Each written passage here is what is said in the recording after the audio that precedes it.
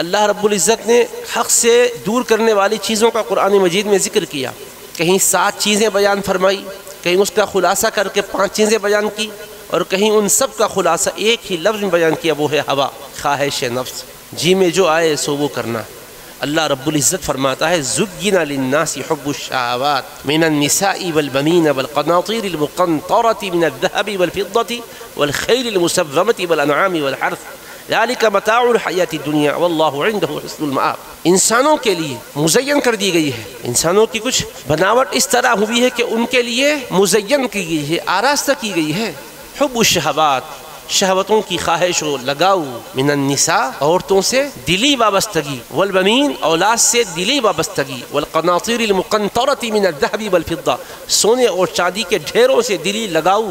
والخیر المسومتی اور عمدہ گھوڑوں سے قلبی لگاؤ، موٹروں، گاڑیوں سے قلبی تعلق، والانعام والحرث، چوپایوں سے، مویشیوں سے، اور کھیتی باڑی سے، مصنوعات سے قلبی تعلق و وابستگی، یہ چیزیں وہ ہے کہ یہ بھلی لگتی ہے انسانوں کو، اور اگر اس میں کھو جاتا ہے تو اللہ کو بھول بیٹھتا ہے۔ سات چیزیں بتائی گئی۔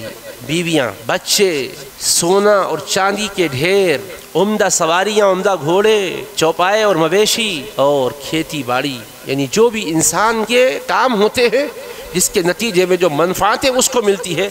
کسان کے لیے کھیتی باڑی ہے، کارخانے میں تیار ہونے والے، مصنوعات کارخانے والوں کے لیے، فیکٹریوں میں تیار والی چیز، فیکٹریوں میں کام کرنے والوں کے لیے حرف ہے۔ اور اس وقت عمدہ گھوڑے تھے۔ آج کل موٹریں، گاڑیاں، اس طرح کی سواریاں ہیں۔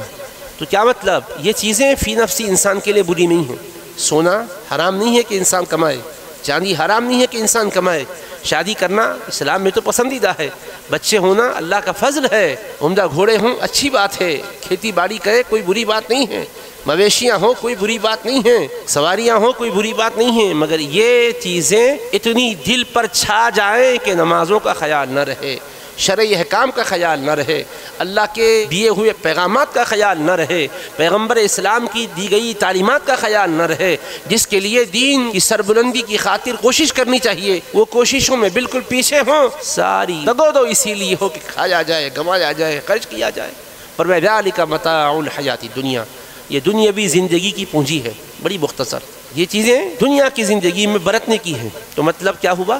ان چیزوں میں نفس کو لذت ملتی ہے، دل کو خوشی ملتی ہے، لیکن حلال چیزوں کی حد تک، ضرورت کی حد تک ہو تو اچھا ہے۔ لیکن اگر اس سے وابستگی بڑھ جائے اور اس زینت و زیبائش میں تمتراق میں رہ کر خدا اور حبیب خدا کا خیال نہ آئے، مرنے کا اور مرنے کے بعد کی زندگی کا خیال نہ آئے، تو یہی چیزیں انسان کے لیے تباہ کن ہوتی۔